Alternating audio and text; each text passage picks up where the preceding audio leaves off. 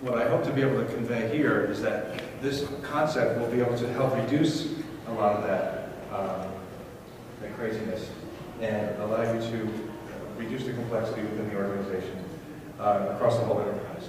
So we'll talk about, we'll just introduce the concept, we'll talk about reasons to harmonize, uh, challenges to harmonization, elements of a harmonization slash standardization effort, and I'll actually compare and contrast the two. Some technology enablers as well as benefits of harmonization. So what is, what is harmonization? Um, before I get into the slide, I just want to kind of describe the concept for a second. The, the concept of standardization, if you're implementing any system in your organization, especially if it's a large organization, uh, oftentimes you're forced to standardize your implementation. In other words, you're forcing users to use the same form for the same things, and there's oftentimes a conflict between the corporate group that's doing the implementation and the locations that are the consumers of the process because of the fact that they might have nuances or differences between what they do in this division or this division or this location. So what happens in a standardization effort oftentimes is that you either have a form that has a huge number of fields on it because you're trying to keep everyone happy, or you have a very short form that doesn't have all the information you need and you don't get the benefit of all the reporting that you could do and all the other good stuff. So without going into the details of the slide, which we'll cover in a few minutes, harmonization really involves making, looking across the, process. So for example, if you're implementing a corrective action system in an organization that has 10 different divisions, you, what you do is you put, you have everyone put their forms on the table and say, let's look at all these forms and look at the common elements. What are the common things? There's a description of the problem, there's probably a problem category, there's probably a problem, uh, the department where the problem occurred, the location, all the details that you would think. And when you think about it, you might have 80% of the form that's common across the entire organization, but people don't necessarily realize that. There are two main challenges that we, that we've identified in, in, in implementing a system in a global environment, or implementing a corrective action management or any other type of system. The first one is getting the local buy-in, which I already sort of discussed. The second huge challenge is reporting. So if you think about management review reporting or any kind of management reports, when you sit down to compile the data for those reports, oftentimes it takes weeks, if not longer, to pull data from disparate sources because each organization or group is doing it their own way. So you have experts on Excel that sit down, and sometimes that's their full-time job. We, we've had customers that have people that have had Excel spreadsheets as their full-time job, basically taking data from reports, compiling it into something that makes sense, putting, presenting it to management, and by the time the reports get presented to management, it's historical data because other things have happened in the meantime. So when you're looking at a, a harmonized system, you're, you're looking across the whole platform to see where elements make sense and try to share those common elements while allowing for nuances and differences for different departments or locations or business units that might have specific requirements. So if you do it in that fashion, what ends up happening is you, the corporate requirements are met because of the fact that 80% of the form is the same for everybody. You can do very quick and easy reporting because they're all using the same fields. No matter what, what, what other system, if you're using Excel or Access or whatever, whatever you're using to do this, they're all using the same fields, so you don't have to compile the numbers from all these different sources because they're all in the same place. And the locations are getting the requirements met because of the fact that the, they, 20% of the form may be unique to that particular location or business unit or whatever it might be. So that's, that, that's the, really kind of the, the crux of the definition of harmonization. So where it makes sense, try to share common elements, and we'll discuss, uh, we'll discuss some more of the details as we go through the presentation. We have local differences, we have product variety, in, introduces technical differences, mergers and acquisitions. That's a big one because oftentimes organizations that were formed by acquisition have a very different way of doing things when they try to assimilate another location or division or business unit into their process. So, uh, so that's really the, uh, sort of the pressures and the sort of the challenges that you face. Also, it, there's specialization of business systems. You have customized homegrown solutions in many situations. You have the not invented here syndrome where there's a political uh, aspect to it. Organizations felt that they, if they're, let's say they're acquired by another organization, well, they created their system. They took a lot of time to create what they do. So why should we do something else now? Uh, so harmonization can help because it eliminates differences and inconsistencies across those different processes. It promotes best practices while recognizing differences, and also it identifies shared data to build an enterprise view of compliance. In other words, reports allow you to generate, uh, you can generate these reports instantaneously, basically, because everyone's using the same field for the same thing.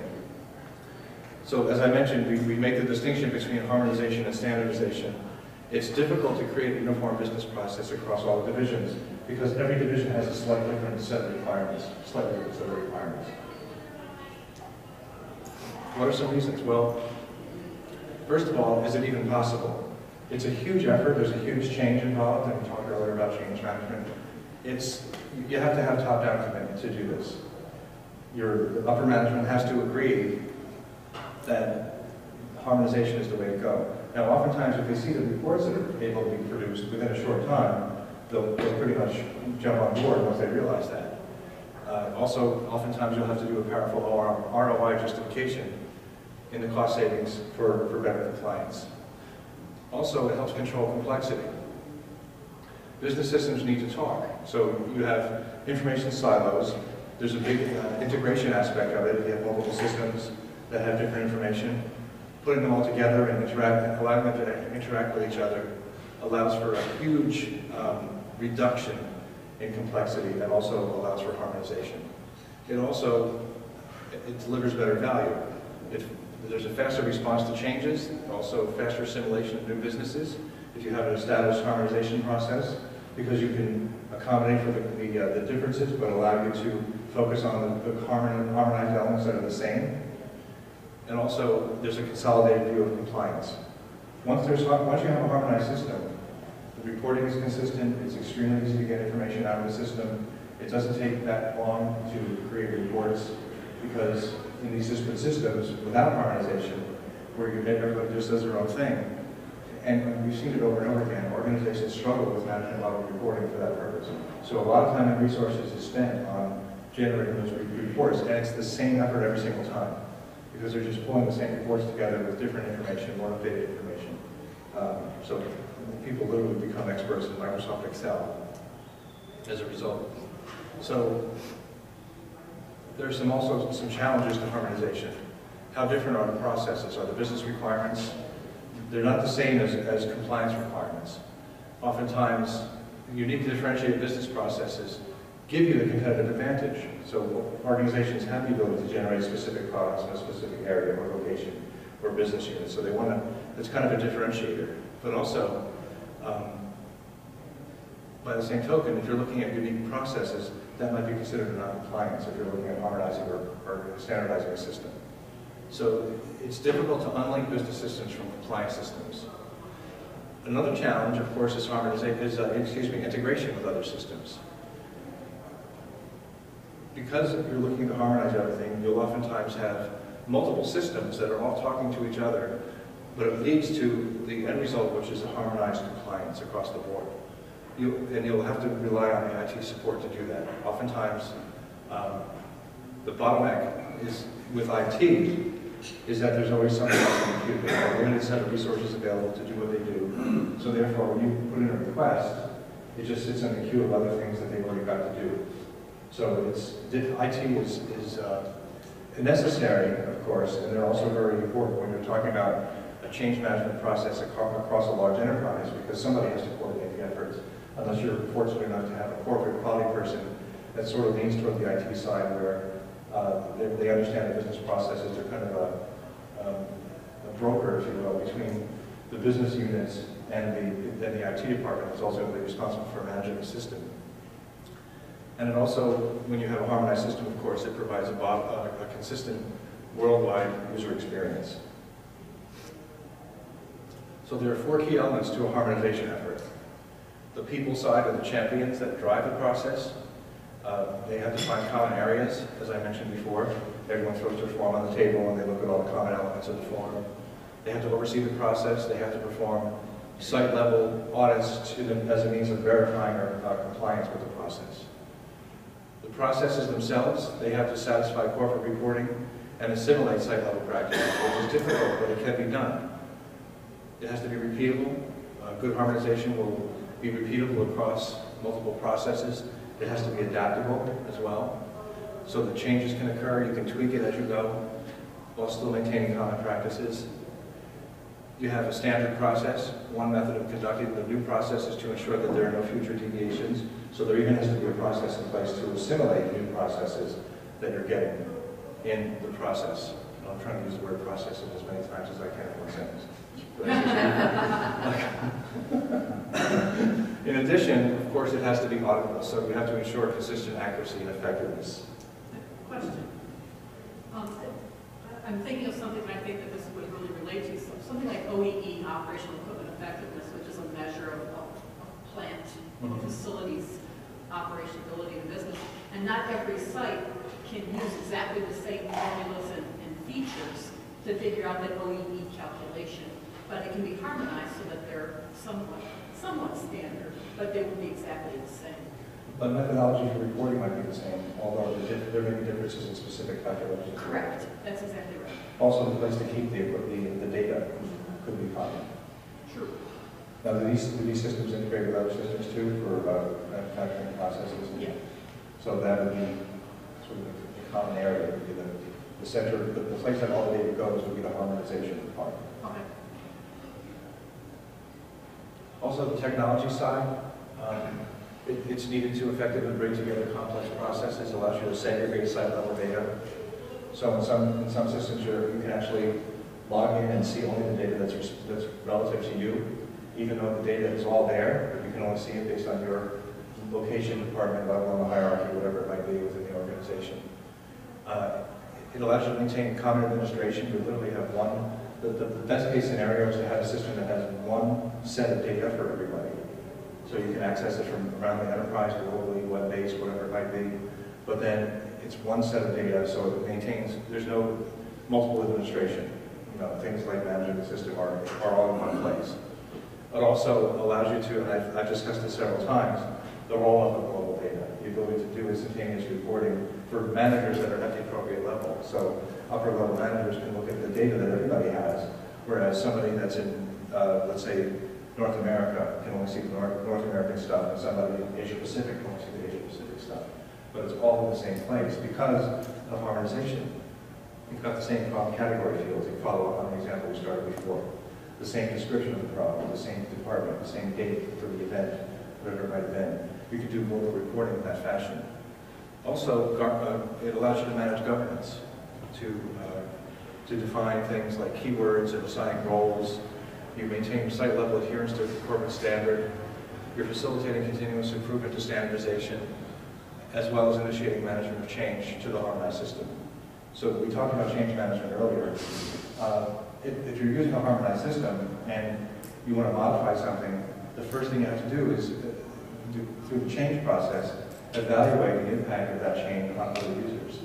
So that's almost a, I'm not going to say a disadvantage of it, but some people that use a system at a local level can do anything they want with that system. They get up one day and they say, oh, I want to have a new field for this, I want to modify this process, I want to do this, and it doesn't matter, they can certainly do that. The problem with that, it- well, there is no problem with that. But if you look at then that group becoming part of a global rollout of the same system, then they have, it's a whole different ballgame because the field that they used to have complete control over now affects thousands of other users in different locations. So there has to be a change management process in place. It's not to say that they can't make the change, but it's just that, you have to evaluate that change and the impact of that as it affects other people.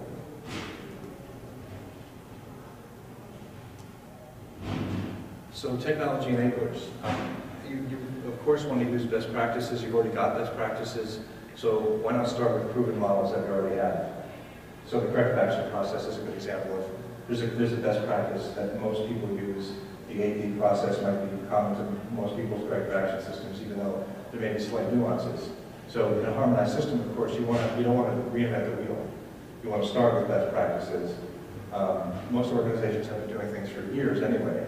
So you, you certainly want to at least start with your best practice and then evaluate from an harmonization perspective which elements can be common across the board and which ones should be unique. You also want to have uh, flexibility. We talked about 80%. You have the same, the common eighty percent, but have a unique twenty percent that might be unique to individual business units or locations or departments. And then a centralized system that can be scaled across the enterprise. You have decentralized access. It's one system, but everybody accesses the system. And you can also delegate certain administrative tasks. So some things in a system that affect just one location can be decentralized. Other ones have to be centralized. And uh, from a corporate governance perspective, you want to make sure that users are using the same values for the same things. For example, keywords and things like that. So keywords are one of the sources of garbage data. Because oftentimes people say, well, this keyword doesn't exist in our system, we'll create a new one. Even though another one that's very similar already does. So they don't realize that this location has the keyword that means the same thing as this one, but they're slightly different. So that's where the Excel exercise comes in, and that's where they get to use those, those little function formulas to change things, find this, replace it with this, make it the same thing. So that, that's the, the idea of corporate governance and ensuring that the, the same keywords are used for the same things. Also, enterprise scalability. So in a harmonization effort, you want to be able to scale the system so it can effectively segregate data. You can control access and filter views and things like that. Filter people's access based on their location. And, and uh, you, you can do this in, in multiple different types of systems and allow people to access things um, that are only pertinent to their local uh, requirements. So sometimes, from some organizations have security requirements where they don't want to allow access to people across the board, but other organizations want to be able to have their users feel like they're still operating in their own fi- fiefdom, if you will, their own location. And you can set certain systems up to do that where it doesn't feel like they're um, just, they don't have access to all the, all the global data that's going on within the organization. So you're, you're filtering things, you're looking at corporate documents. An example of this kind of filtering might be my location and lower. So in, the- in, you can, you can define your organization's hierarchy, so you have the corporate level, then you have, might have continents under that, and then have countries under that, and then have specific cities under that as locations. And then you have somebody at a particular location that's looking at a corporate document. You can have a corporate document associated with the, the top level of, the organization that anybody can see. But then you might have work instructions that only location A can see, but they can still see the corporate document. And location Z can still see just their work instructions, and then also the same corporate document. So talk about managing complexity. You have one document for the, the same purpose across the entire enterprise. And that document has its own change control, of course. And you don't have to manage multiple of the same kind of documents across. I'm, I'm sure that there are many organizations, we've seen it ourselves, where the corrective action procedure is the same across the, the whole organization, but they have ten of them. Because each person or each group manages their own thing. You also have uh, record level security, so you can define who has access to certain individual records, if it's, if it's information that's proprietary or um, legal documents or things like that that some parts of the organization can't see. Oftentimes, you're talking, maybe we we report the New Jersey illnesses, there's some things that are, that are, uh, that are protected by laws, or HIPAA laws that you can't share information on employees and things like that with other people. So you can hide information like that as well. And you, you can also delegate administration control as well. So I, I've already sort of discussed that, that concept.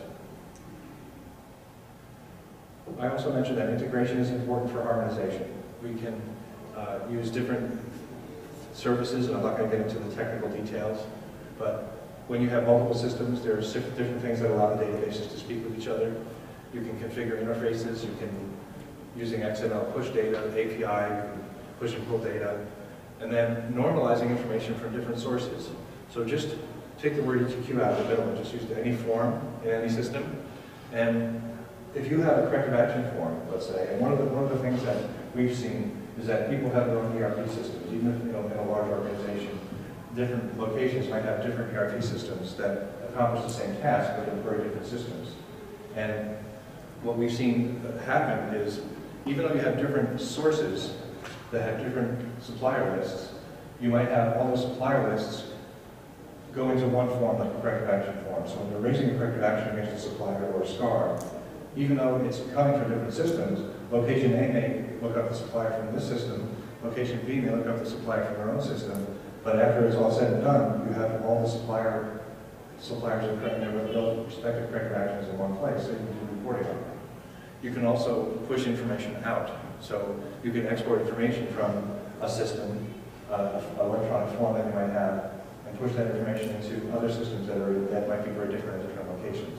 So the, the harmonized system becomes sort of the interpreter and also the common place for all the information that then gets pulled from different sources and pushed to different sources. So a situation, um, just a couple of case studies to talk about our own experience, is in decentralized administration where we had a system where you had a common design rolled out to 35, over 35 countries. And you had local control for things like access, assignments, and notifications. So it's a common corrective action process. It's one form for everybody. But the locations and the administrators at the individual location level are allowed to control who's responsible for different steps of the process that they're allowed to build into the system. They don't have to go to the centralized person to do that. Because the centralized group defines the overall process, what the steps are. But then the individual locations have the ability of going in and defining on a case-by-case basis who's responsible for assignments, notifications, what are the keywords for this particular location. So it would be, it would be an arduous task for one person to manage that, all that stuff.